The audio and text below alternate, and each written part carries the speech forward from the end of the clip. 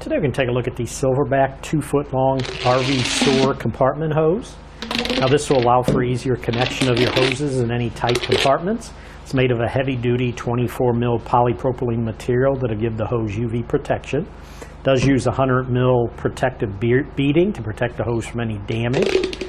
And you can, the fittings on each end are rotating. Here's your four hooks on this end and your four pins on this end, so it makes it for easy connections.